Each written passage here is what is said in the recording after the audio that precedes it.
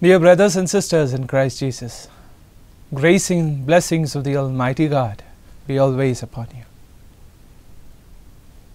Today, we celebrate the feast of Our Lady of Rosary, and the liturgy of the Word invites us to meditate on the Annunciation event. Mary's acceptance of the proposal of Angel Gabriel to cooperate in the plan of salvation stands exactly opposite to Eve's acceptance of the proposal of the tempter to go against the will of God.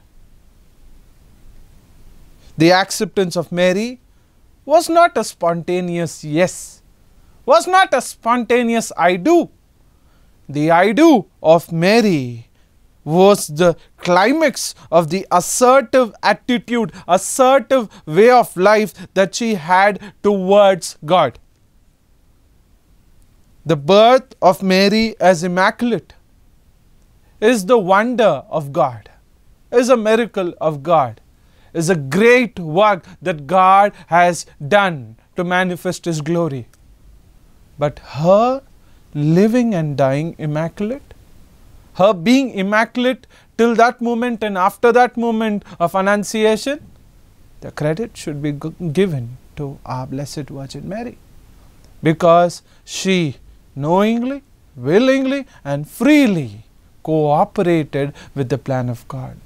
She kept herself pure and chaste. She lived all her life as a true daughter of the loving God.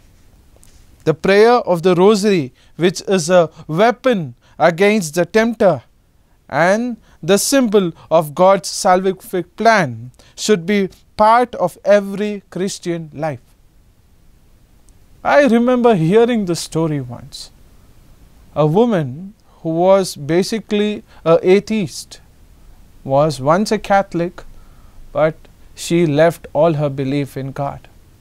But she couldn't leave this one little prayer which says, Holy Mary, Mother of God, pray for us sinners, now and at the hour of our death. Amen. She lived a wayward life. This woman really lived a life that was against the will of God. She was now on the deathbed. And then a kind of repentance, a kind of penance and penitence fills her heart. She looks around, they are all priests and nuns, and they she asks for a priest, makes a very good confession, receives the sacrament of anointing and dies. That prayer which clung to her, which she said without knowing its meaning even, stood with her. There are many who would ask me and ask us Catholics, why are there so many Hail Marys and Holy Marys in the Rosary?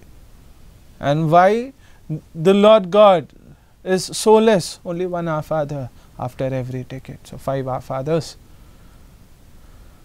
But they don't look at what we meditate along with Blessed Virgin Mary.